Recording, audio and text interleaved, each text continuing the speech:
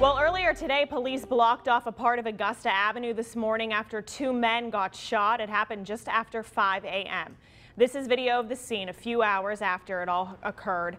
According to the Metro Police, it all happened near the intersection of Augusta Avenue and Tulip Street. Police say they found 27-year-old Brendan Barlow shot and sitting inside a black Toyota. A second victim, 25-year-old Eric Butts, was also shot and he was found sitting inside that car.